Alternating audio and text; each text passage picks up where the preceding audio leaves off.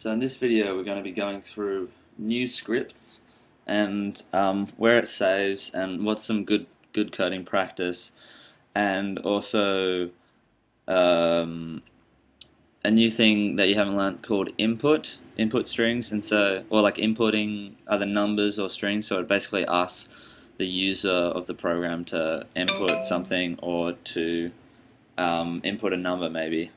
And then we'll um, we'll learn how to output um, just just normal strings to start. Strings are just uh, sentences, by the way, or a bunch of letters just in quotation marks.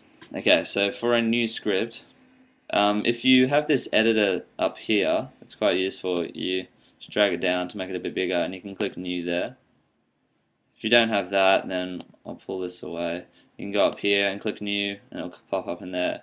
Or if I get rid of this editor altogether, click new, and then it'll pop up there. It, it might not be docked or something like that, so it might be out here. Just to dock it, um, put it in your command window, you just click that down button. So that's a, a new script here.